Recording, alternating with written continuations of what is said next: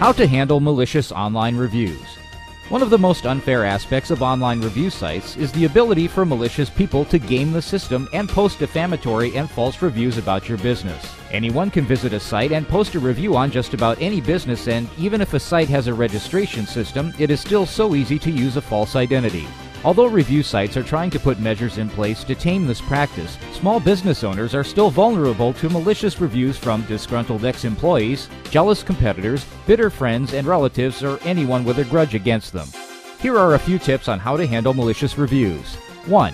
First, ascertain if the negative review has any truth to it. Use your business records and information from your staff to authenticate if things really happened the way the reviewer said they did. 2. If the negative review is indeed malicious, it is best to respond to it on the website where it was submitted, making it clear that your research has found no evidence of the incident occurring and if the reviewer can get in touch with your company for further assistance. In this way, you have set the record straight, gave your side of the story, and put the ball in the reviewer's court, all in the public domain. 3. If a review is incredibly negative and makes a personal attack on you or your employees that is totally untrue, you may want to consider removing the negative review from your website. This step should be done after you have done everything necessary to rectify the situation. Getting negative reviews removed from external sites, such as review sites and blogs, involves asking the webmaster of the site to remove the offending content.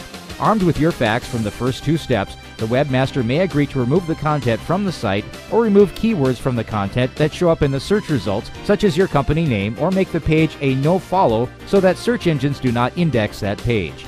There is also the option of submitting a free legal request to the Google team, which may be helpful if the offending content is a Google image or a YouTube video.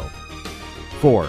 The final tip, if all else fails to work, is to flood the negative reviews with lots of positive ones. Implement a customer review campaign and point as many of your customers to submit reviews online, especially on review sites such as Google Places, Yelp, or whichever review site dominates search engine results for your company keywords. In this way, the negative review will actually appear as the act of a malicious person due to the high number of positive reviews surrounding it.